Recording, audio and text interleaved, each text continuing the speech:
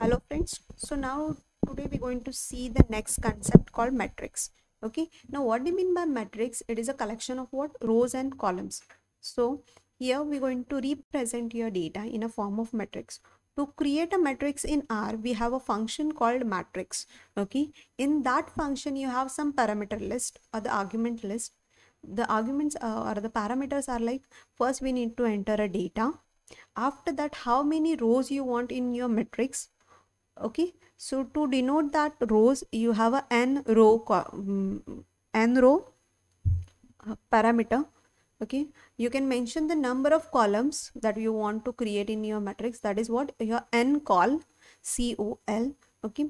Now if how you want to arrange your data whether you want to arrange your data by row or by column okay? So the by row is the parameter. Here you can enter the boolean values. Okay? So by row is equals to true means what? You're going to arrange the data in a row wise. Okay? And by row is equals to false means what? The data will be arranged by column. Okay? Here we don't have by col uh, parameter. Okay? So first we're going to generate one matrix. Okay? So you're going to need a variable to store that matrix.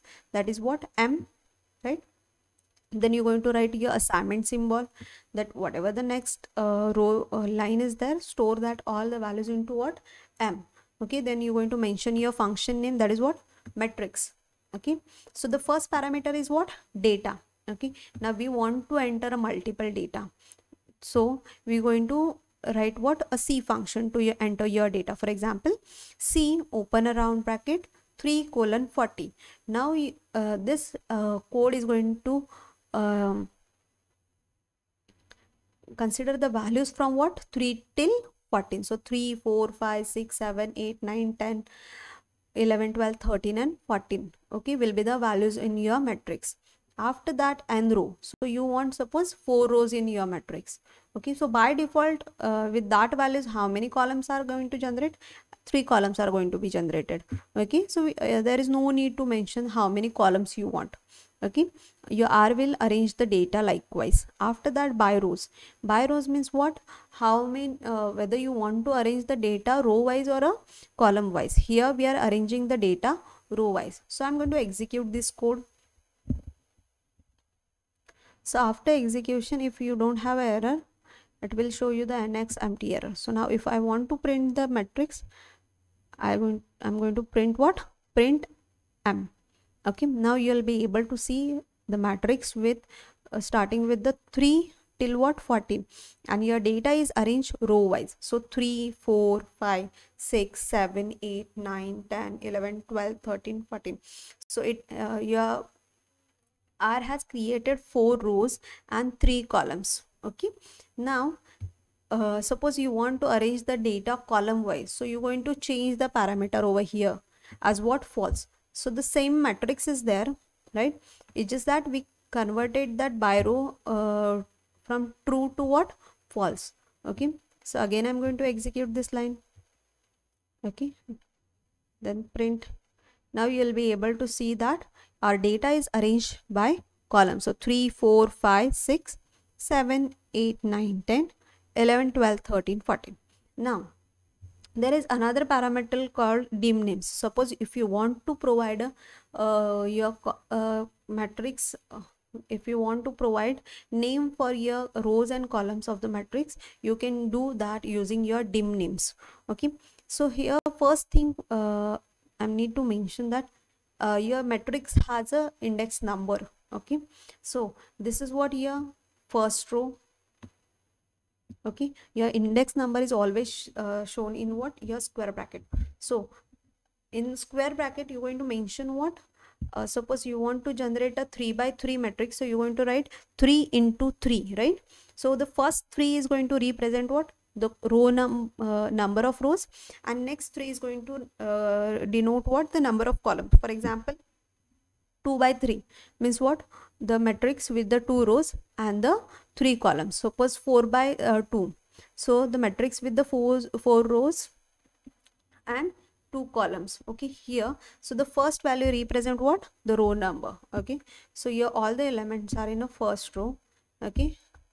In your horizontal line you are able to see that this is what your column names. Comma 1 comma 2 comma 3 here we are able to see that it is 1 comma 2 comma 3 comma 4 comma. For example what will be the index number of 3 it is in a first row and first column. So 1 comma 1 what will be the index number of 9 3 right?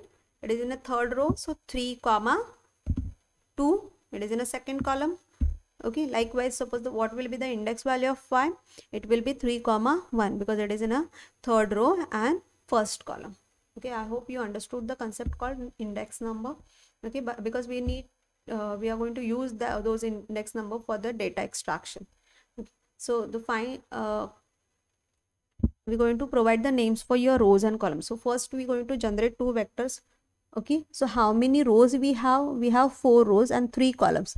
That's why i'm going to give the name like uh, row 1 row 2 row 3 row 4 and for the columns row 1 row 2 sorry col 1 col 2 col 3 okay? And i'm going to store this vector in a row names and col names variable. Okay? So i'm going to execute these two lines. Okay? Then I want to provide the uh, name to your matrix. So how are you going to give the name? Using what? Your dim names parameter.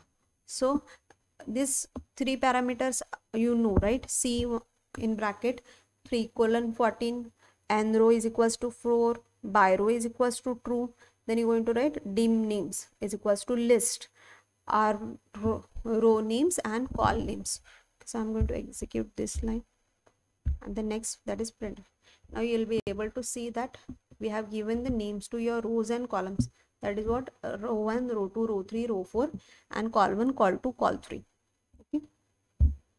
Then we can generate a matrix. Now here we use the values are like what? 3 colon 14 means what? continuous values. Suppose you have a number of different different values. Over here for example we want to generate a matrix of 3 by 3 using these values so uh, you're going to give the values in using in uh, using c function okay so the values are like 1 5 9 2 5 7 4 2 6 so it will generate a matrix for these values. Okay the values are arranged by what? Row. If you want to arrange it by column you can give by row as equals to follow. Uh, sorry false. You can generate a matrix for text also. So it's just that you're going to give provide the text in a double code. Okay so this is a code output for your text matrix. So here we created a matrix for your for flowers name. So rose daisy lily and lavender. These are the data items in your matrix. Okay. Now how are you going to access the element of matrix? To access the element of matrix we're going to use those index numbers right? So first we're going to create a matrix called p okay? So you have values like 2 3 4 6 7 8 9 10 11 12 13 14 okay? Now if i want to access the element of third column and first row. Okay? So on the third column and first row you have value as what? 5 so how are you going to give? Print what is your matrix name? P right? Your matrix name is what? P. So p in square bracket what is your row number? 1 comma what is your column number? 3 so we're going to execute this line. So as we know that 5 value is there in the first row and third column so it is going to print you what? 5 okay same way for the second column fourth row it will return you what? 13 okay suppose if you want only second row you're going to provide the index number second comma. Okay so it is going to return you the whole second row that is 6 7 8 if you want to access only the column you're going to uh, write p square bracket comma 3 okay it will return you the values of your column. Okay now math matrix computation okay? And matrix computation means what? It is going you are able to perform matrix operation also. That is addition subtraction multiplication division okay? So for the addition and subtraction it is going uh, it is going to perform the element to element operation okay? So we need to create a two matrix okay